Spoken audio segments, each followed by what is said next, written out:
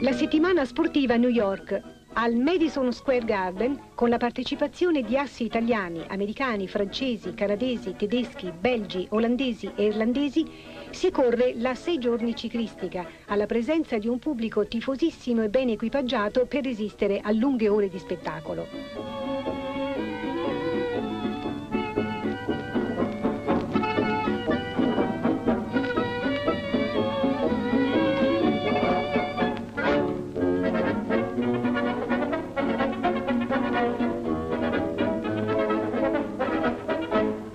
Un altro sport seguito con grande interesse è la lotta libera.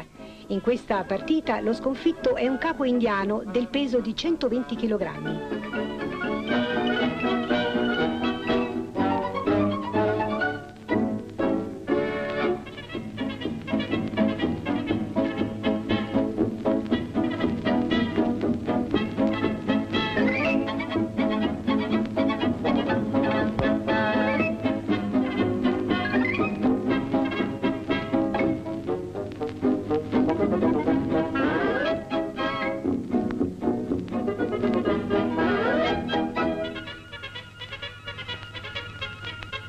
Il campione mondiale dei pesi massimi, Jimmy Braddock, si allena pubblicamente.